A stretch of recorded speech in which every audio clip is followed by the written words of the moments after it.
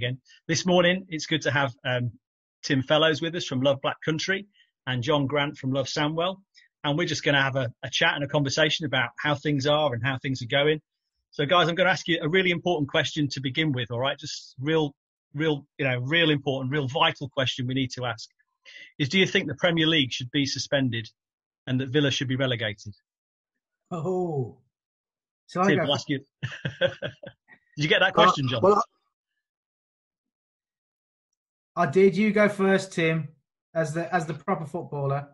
Well, I think it's, I think it's a very pertinent question, Gareth, to start off our conversation. Yeah. And uh, as a well, I'll say an ex-Wolves fan, but as, as a Wolves fan who doesn't go down very often at all, but used to, I think it would be great for the Wolves to finish in fifth rather than sixth. But I suppose to compensate for that, to see the Villa fall out of the Premier League into the Championship and probably then into Division One, Two, and Three, yeah, wouldn't be a bad thing. And be replaced by the Baggies as well, of course. well, that that's possibly even worse for a Wolves fan. Go, we won't go there. Guys, on a more serious note, I suppose just be good to understand where each of us we've all had to adjust to a completely different landscape in terms of what we're doing missionally, what we're doing for church, what we're doing for business, family, and just getting a sort of insight really into into how you guys are, doing and, and and sort of how it's affecting you in terms of Jon as Crunch and Tim as Love Black Country and myself probably as well for Smethwick Can just to explain how how things have been because it's it's been a pretty interesting few weeks. So, don't know, Jon, do you want to kick off? How how things with you guys in terms of Crunch and family and church and stuff like that? Yeah, well, like everybody, it's a massive adjustment. Um, so 95% of what Crunch does is in schools. So we do one-to-one work. We've got mentors that go into schools working with some high tariff children and young people, vulnerable young people, young people, a lot of stuff around emotional health and well-being. And um, for us to having to adapt to suddenly no face-to-face, um, which is what we've always done to over the phone, looking at video conferencing, making sure that we're keeping everybody safe uh, as they're doing that as mentors and also obviously children and young people. Huge adjustment. Uh, working from home with my wife. I work with my wife anyway, but to be in a confined space where I'm not kind of uh, wafting off over to you know meetings uh, with the council and that, and we're suddenly in this small confined space 24 7 is a challenge but no we, are doing all right church like everybody it's been great to see I've loved a Sunday. I've spent loads of Sunday just kind of dipping into everybody's Sunday service, and everybody does it differently. And uh, we're we're phoning around everyone in our church, so Bethel Church in Oldbury.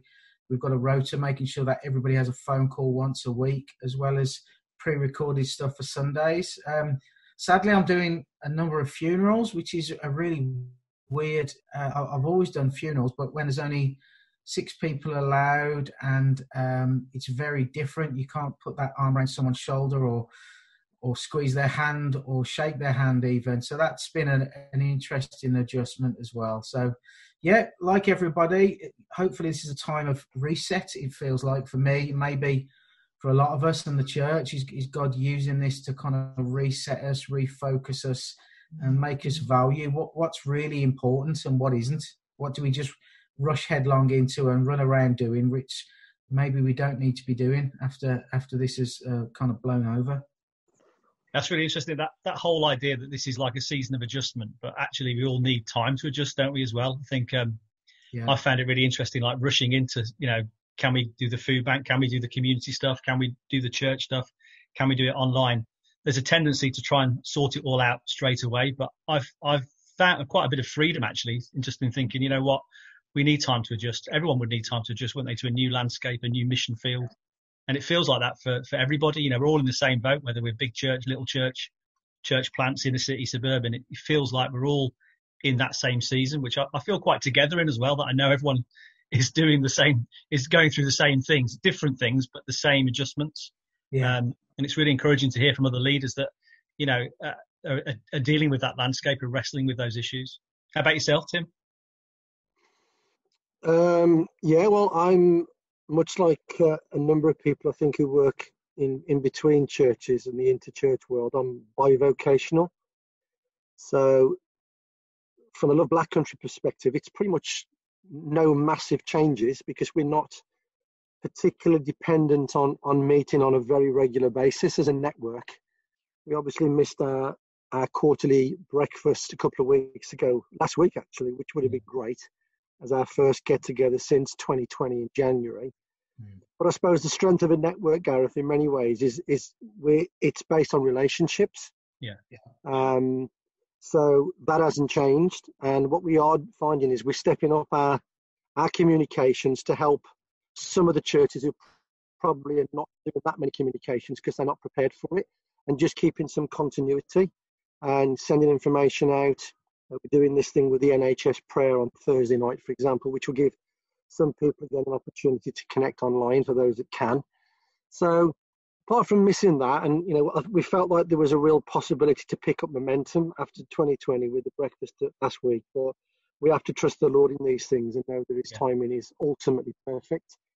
Yeah. Um, my other side is I, I run a financial, uh, what do you call it? I'm, a I'm an IFA, independent mm-hmm. financial advisor. So my business side is significantly affected to what degree yet, I can't say. I don't know. Um, we obviously aren't able to meet people face to face. So, for the type of people that want to be advised face to face, it's kind of everything's on hold. So, like many people, maybe in your church, you'll be listening in Smethwick, you'll be listening to this. Uh, livelihoods are affected. We're under threat. Um, we're standing and we trust in the Lord. We've been through difficulties before, but this is pretty new and unique in many respects. But we we count our blessings, yeah. and uh, and we we've just got to adapt. We have to be able to adapt, particularly in, in the yeah. kingdom dynamic. If we can't change, then we can't repent. Yeah. So we've got to be adaptable and well, you know, I'm I'm just having to keep saying, Lord, help me to trust you more. Mm. Um, help me, Lord, you know, in the areas where I'm insecure and I'm very uncertain about things and lacking in faith to some degree, honest guys. But yeah, absolutely. Hey, human yeah. and like many of us, I want to learn and grow more. Yeah. I mean, I think, like I said, this whole season is, is a season of adjustment, but a season of uncertainty, isn't it, for so many? I mean, we've seen it here at Food Bank on Friday. We, you know, and, and today we've given out another 60 parcels, but it was 81 on Friday and the stories were often about universal credit. You know i've just had to go onto universal credit. I've just started. Yeah. i've never i've never been on universal credit before. I've never been on benefit before. And suddenly find themselves in a completely you know yeah. different world. And and that sense of like you know how it must feel you know I, I said you know i'm i'm like you guys bivocational couple of jobs. But to be honest there's a fair amount of certainty in my jobs. And and actually a lot of my my employers have been you know the church cinnamon Smethwick Can. They've been brilliant. You know, they've they've they've helped you know navigate this adjustment. But for lots yeah. of people, there's not so you know they don't have that privilege of having either they're you know freelancing or they're good. You know, their employers have just said off you go, or there's not even the furloughing. You know, it's, it's a lot of that going around, mm. and, and, we've got to be out and we've got to help people find that that rock, find that that yeah. place of refuge in such an uncertain yeah. time. Definitely, definitely. Yeah, yeah. Well, bless, well, bless you guys. Um, I think one thing um, we shared uh, last week, I think we talked about um, Pete Greig uh, in one of his devotions uh, a couple of weeks ago, talked about the Chinese uh, word for crisis um, is made up of two characters, one of them being danger and the second character being opportunity. Mm. And and I, although I think you know we've, we've well documented the danger of this time, you know we know as, as, as Jon has been saying, you know he sadly had to see people, um, you know their funerals, you know, we're having to see people go through this uncertainty. We know the dangers. It's very, you know, we see it's very real in the headlines every day. I just wondered if, if just for these last few moments, just to sort of focus on the opportunities and what are the opportunities are you seeing for, for, for your ministries and the churches you're involved in and the, and the wider black country? What, what are the opportunities are you guys seeing at the moment? Shall I start with um, Jon? Yeah, I mean, interestingly, on the ground, um, it's a bit like this is a window. I really believe this is a window uh, that we have an, a great opportunity to share the hope that we have in the midst of hopelessness and fear. People's um, eyes are opened. It, it's a different time for everybody. Um, it, just a real quick story. Lindsay, my wife, um, had a phone call from the photocopier company who we lease our photocopier off, and she basically just opened up how scared she was and um, could we be praying for her? And it was just like very normal, very easily been able to pray in that situation. In a council meeting I was at before all of this happened, once again, it was the same opportunity just to share some scriptures. So I believe the church, rather than us have to just think, oh, let's wait until everything gets back to normal. Let's use this opportunity to to bring Christ into into the midst of all the hopelessness. And I think for the church, we we've got to adapt as well. You know, individually, we are obviously we made the church is made up of individuals. It's not a building, but sadly, still a lot of what we do is still centered around a building or a Sunday morning. And I love it that churches are having to having to adjust, think outside the box, and use this as an opportunity to connect with the wider community in, in a way maybe we've never done before. Yeah, absolutely. About yourself, Tim? What opportunities do you feel that, that we've got?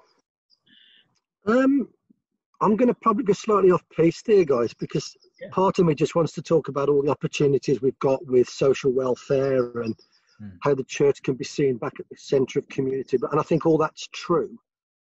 But my heart if I was really honest, I think the greatest opportunity we've got is, as leaders, is to help Christians who ultimately make up the church understand and realize more than ever that their relationship is meant to be with Jesus. Yeah. And not with his wife. Yeah. And I suppose I grew up uh, more of a churchian than a Christian for most of my early years, 20, 20 years probably in that I, I, had a relationship with church and I could talk about church all day, but I, I, I was never really found talking about Jesus. And I loved my church and I'd have a love for God, but I don't think my love for God was as deep as my love for his church. And ultimately, ultimately, that's idolatry. Mm. But if I soften that, what, a, what an amazing opportunity it is for me to realize that on a Sunday morning, I can't go to a church. Yes, I can go online, but I can't connect with people in the same way but I can close the door after my online stream and talk to the Lord because He's with me. Yeah. He really is, and and He wants me to know Him more and more and more. He wants me to experience life on a much deeper level and to depend on Him. And crikey, guys, as churches, organisations, and individuals, this is a season where we need to depend on Him. And absolutely, I think one of the psalms is, you know, my soul finds strength in God alone. Yeah. So it's that it's that exclusive dependence on him that I think is probably the ultimate opportunity for us to disciple ourselves and each other and our people into finding the Lord and, and knowing that, it, that the Lord's very able to you know to find our people out there. Mm. Is the lost shepherd? Sorry, he's not the lost shepherd, is it? He's the good shepherd, yeah. and uh, and he's still looking for people. And you know, so wherever we are, whoever's listening to this, if if you know the Lord, there's always an opportunity to know Him more and mm. more. I believe we'll spend forever finding out new things about him. And as as I'm going to say in the, the, the thing we're doing tomorrow at the breakfast time is is Christianity is not about Jesus. The gospel is Jesus. Mm. And that revelation I think is more open now to be to be truly found by people who are really looking for him. That would be my answer, Gareth. That's brilliant. That's a really good answer. I mean, I, I love the fact that, you know, this is a time you know, I mean, uh, like you know, we we mentioned what we we are doing here, and I, I know that you know a lot of us are running around here, there, and everywhere. But what I love is that the, the you know, and we need to get that that that strength and that courage from our Lord Jesus. Don't we? We need to go back to Him and make sure we're doing that, and that's our source. Yeah. But those people that you know, perhaps can't get out and do this stuff, you know, can't get out and do the things that we're doing here right now and spend it can. I just know I just want people to get deeper into their relationship with Jesus. I want people to really find that reliance on Him find that connection with him because we're going to need them. You know, when, when this is all over, in terms of this crisis is over, there's new crises yeah. around the corner, to be honest. There's, yeah, this, this mm. is, society's going to look different. Church is going to look different. And we're so going to need Jesus in the midst of all that as well. Yeah. This is not going to, yeah. you know, this is, some aspects of this will go away, but actually other things will, will appear. And we just so need to cling to him, don't we? So need to connect with him. And that's really powerful, Tim. Thanks for that. Mm. Just, no, just, just come back to you, Tim, before perhaps I'm going to ask you just to pray for us. But before doing that, just just how you're feeling, because I know, you know, Together 2020 was such an amazing event. We were so blessed to be together as the, you know, the body of Christ in such a powerful way. You know, thousands mm. of people, um, just that sense of togetherness. And, uh, you know, mm. it feels like, I know we talk about being together apart, and we were in terms of we're apart, but we're still together.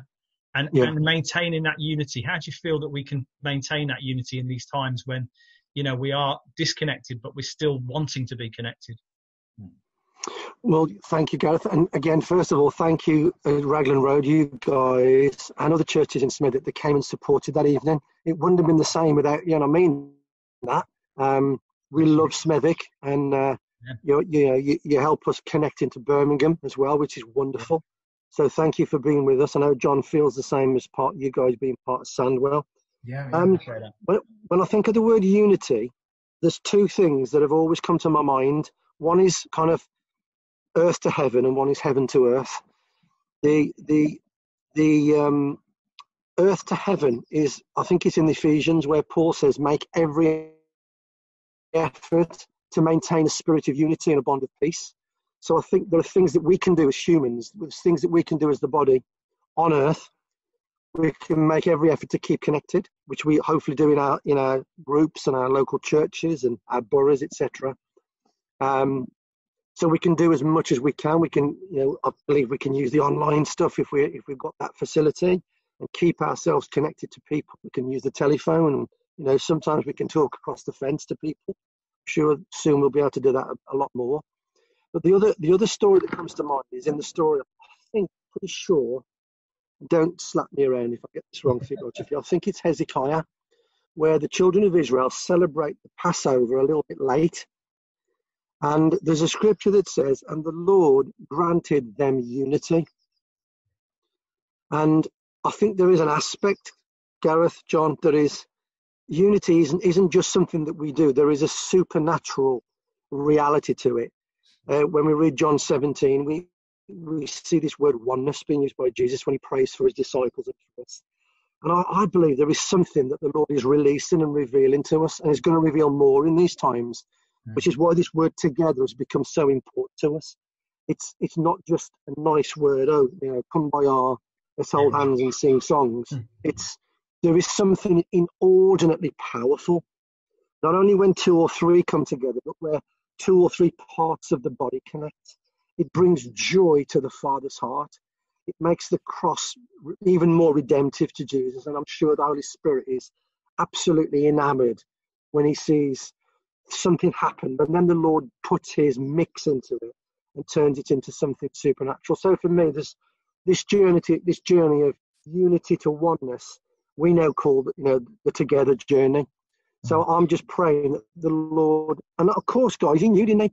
You know, we had this most wonderful evening on the 4th of January, and suddenly we find ourselves almost in a season of exile from normality.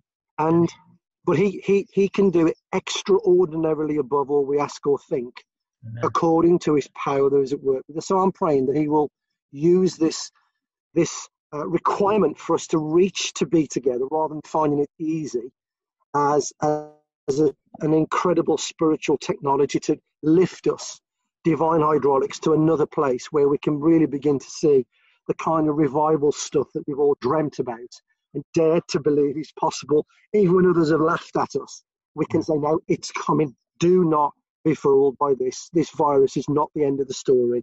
Yeah. God wasn't on a holiday when this was released. Yeah. He knows exactly what he said. And for me, what's he saying to the black country?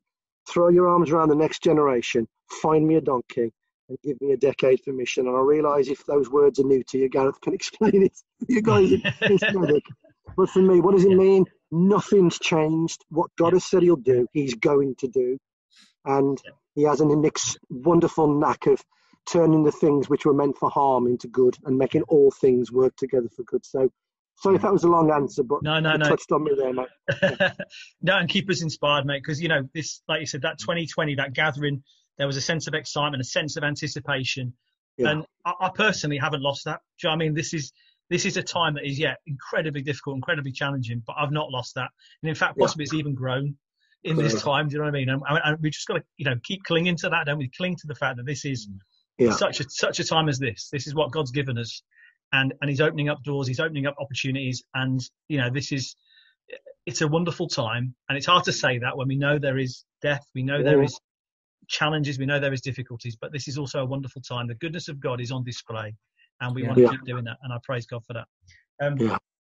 Thank you, Jon. Just before we before we go, just in terms of how you how you're feeling about maybe in terms of what church might look like for you guys, because I I don't know I've got a sense that you know church is is very different now but I'm also hoping actually to be honest that church is very different when we get back together again I think it's going to be a great celebration when we get back together again but mm-hmm. I just feel that I don't know if you feel this but you want things to also be a bit different when we get back um. How do you feel about that? Do you feel there's again just something around what church might look like beyond coronavirus?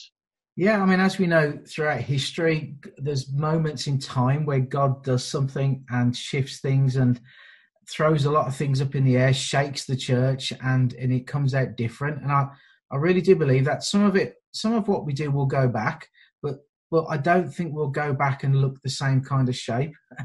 I think we'll, we'll, all be different. The reality is, I, I use the terminology. Tim always picks me up on this because he's right. But when you know, I'll often uh, call myself when I phone up a family, I'll say I'm I'm a vicar, reverend, I'm a minister, trying to find a word that a family will understand the concept of what I am. Um, and you know, Tim always says, "Look, we're all ministers. We're all called to minister." And I, I really hope that the body of Christ ministers to its community, whether that's over a fence, getting a, a prescription for a family, by getting a food parcel. I mean, it's great what you guys do, but all of us play a part in not just expecting the person at the front to do everything and make sure everyone's all right. But actually, it's all our responsibility to to check on. Pick up the phone and say that person that sits in the church next to me, you know, and I chat to every Sunday, do, do is it good that I would just phone them up and say hello and see how you're doing? And I hope people will come back when we can gather physically together more empowered.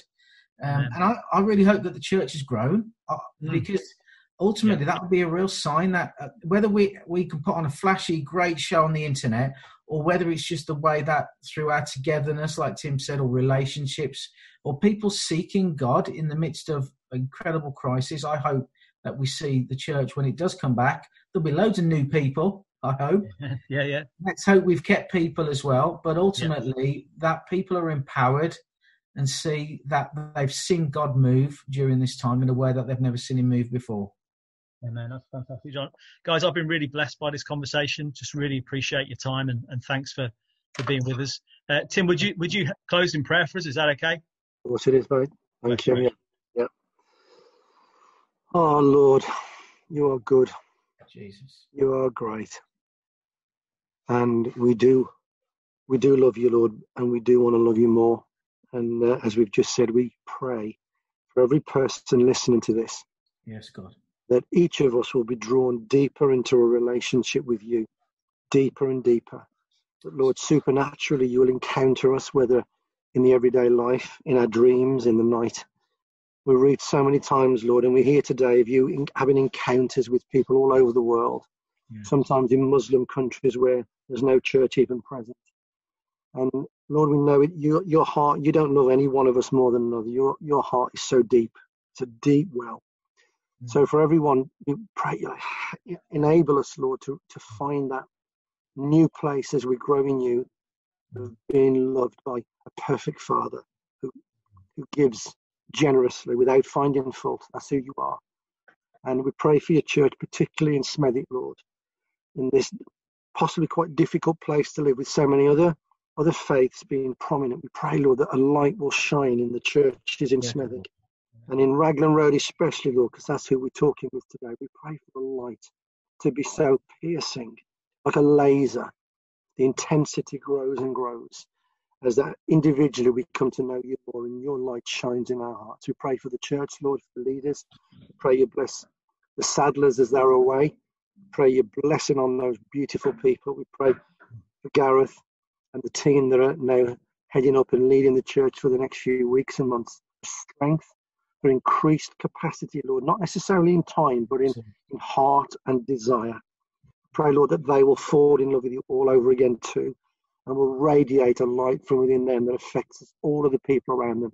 We want that for each of us, Lord, all of us to be more effective for you, but it has to come through our love for you, not through our effort and thinking we need to earn something. Thank you, Lord, that you've already qualified us and positioned us as sons and daughters.